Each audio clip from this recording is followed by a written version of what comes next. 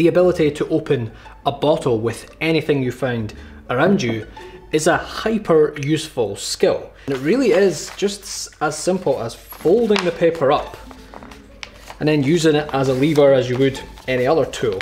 Quite long, like this. Fold it.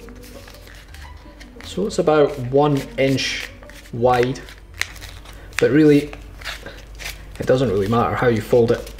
Something like that. And basically you can just use this as your lever.